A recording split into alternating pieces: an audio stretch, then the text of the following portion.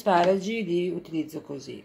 Taglio via la punta e questa la tengo intera che poi è buona da trovarsi.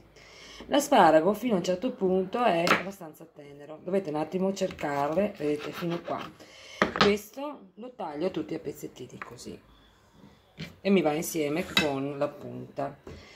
Il resto che non è proprio durissimo vedete? Perché il durissimo comincia qui questo io lo trito con un po' di acqua e faccio una cremina che mi serve per mantecare il riso. L'ultimo pezzo lo faccio a pezzi e lo metto nel, nell'acqua salata che mi farà da brodo per il risotto. In questa maniera non vado a sprecare assolutamente niente. Possono naturalmente anche pelare vedete? Così questo si può usare perché dentro l'interno è abbastanza tenero e frullarlo anche questo. Ho messo in questo caso del cipollotto che è più delicato con un po' di olio extravergine di oliva lo faccio leggermente appassire poi metterò dentro le punte degli asparagi e, e i cerchioletti i pezzettini che ho tagliato quelli più teneri. Aggiusto di sale e di pepe e faccio insaporire per 2-3 minuti, non di più, perché poi cuoceranno anche insieme al riso, altrimenti diventa tutto troppo cotto.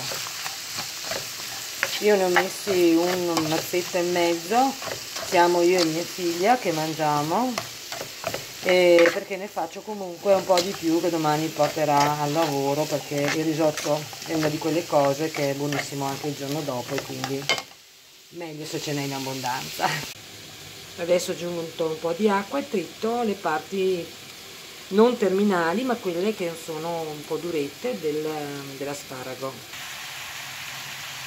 Nel frattempo faccio bollire in acqua salata con sale grosso le parti coriacee del gambo dell'asparago. Ecco con la parte diciamo più duritta ho fatto questa eh, pappetta questa emulsione questa crema che mi servirà per dare ancora più sapore al risotto. Naturalmente gli elastici li tengo tutti perché vanno benissimo per chiudere le confezioni.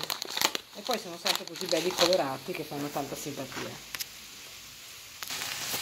Facciamo tostare brevemente il riso insieme con gli asparagi e poi aggiungiamo il brodo mantenendo sempre la, la, il bollore della, del risotto. Circa, circa 10 minuti vado ad aggiungere la mia purea di gambi di asparago, li mescolo bene di modo che non perda il bollore, lo perda solo per un istante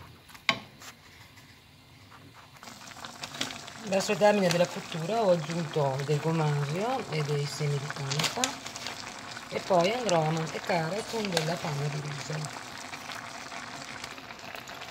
Ecco qui vado di panna di riso o di panna di soia come preferite.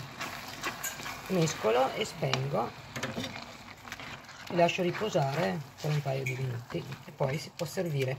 Se volete potete aggiungere anche del lievito alimentare in scaglie naturalmente. Io sapete mia figlia non lo mangia e quindi me lo metto poi a parte. Ecco il nostro risotto vedete spettacolare. È pronto. Eccolo pronto buon appetito